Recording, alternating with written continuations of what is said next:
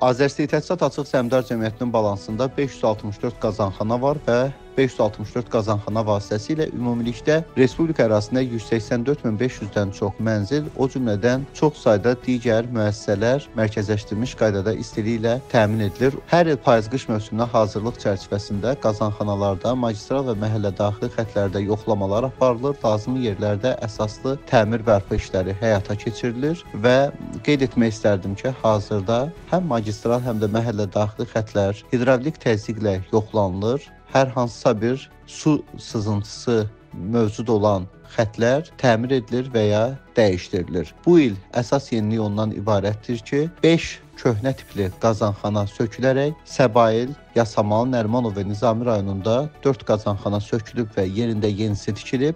Səbail rayonunda isə bir qazanxana zirzəmidən çıxarılaraq yeni layihə əsasında qurulur və müasir tipli qazanxana olacaqlar bunlar.